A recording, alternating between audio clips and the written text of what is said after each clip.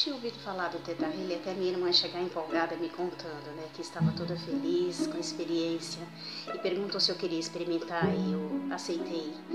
Para mim foi extraordinário.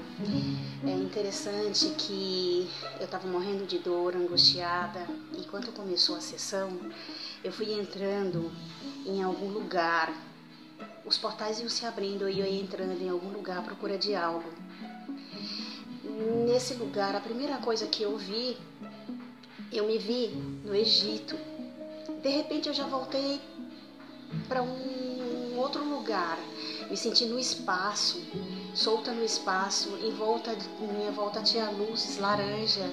E aí eu pulei de novo para o chão, já estava no bosque. No bosque tinha uma entidade, uma energia de luz laranja também, que me deu um globo, um globo de nuvem branca.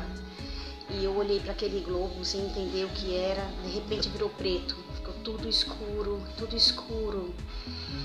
E era muito confuso, eu vi muitas cenas, muitas coisas ao mesmo tempo, tudo muito rápido.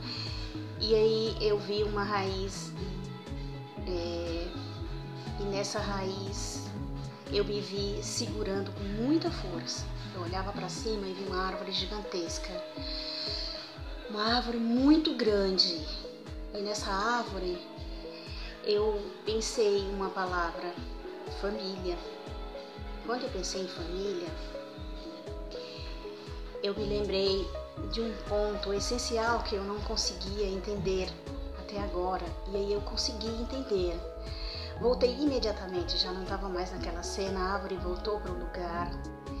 E no comando do Eduardo, eu já estava numa fonte de água crística maravilhosa, extraordinária.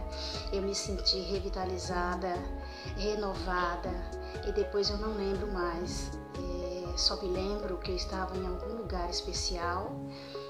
É, não sei dizer onde era, mas eu sentia muita paz, alegria, amor, reconforto. É como se alguém tivesse apertado o botãozinho na minha cabeça e eu sentia limpar, limpar, limpar, tirar tudo, tirar tudo. Eu estou muito grata com essa experiência porque para mim foi muito importante. Parece bobagem, mas uma coisa tão pequenininha abre um universo tão grande. Para mim, essa experiência foi extraordinária. Foi extraordinária, eu vou levar para minha vida. Foi muito importante, eu estou grata, é, estou gratificada por ter sido proporcionada uma experiência dessa natureza. Então, gratidão.